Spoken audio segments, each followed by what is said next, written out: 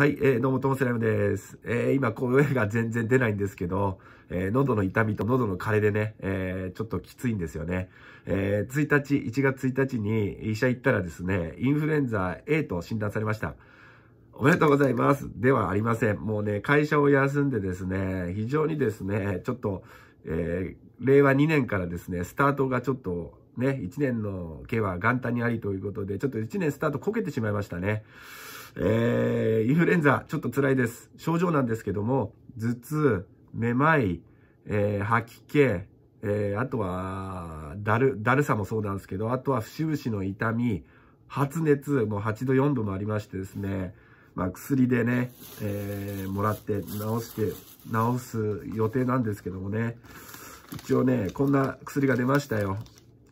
えー、オセルタミビルっていう、オセミタ、オセ、もうちょっと言葉もすら出ない、ぼーっとしてるんですよね。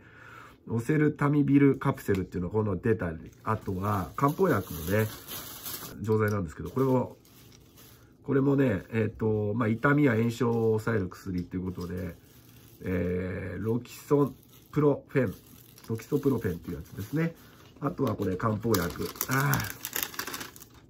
これもね、えー、寒気、発熱、頭痛の時にね、漢方薬。マオウトね。これちょっとね、全部飲んでみてね。怖いのがこのタミフルですよ。タミ、タミビルですよね。タミビルは水または、えー、なんだっけ。左右で、左右か。白湯って書いて左右で飲んでください。事前にカプセルを外したり、口の中で、えー、裂いたりして飲まないでください。えー、幼、えー、幼児。未成年者については異常行動の発現の恐れがあるため、自宅において療養を行う場合、少なくとも2日間、えー、保護者は幼児、未成年者が、え、1人にならないように、えー、配慮してください。血便、吐血、えー、不正子宮出血等の出血症状が現れた場合には、主治医または薬剤師に連絡してくださいということですごい副作用がすごいですね、これ。怖いですね。幻覚症状が見れるかもしれないから、わかんないですけど。じゃあね、ちょっとね、飲んでみたいなと思います。このちょっとね、みんなポカッと開けてね。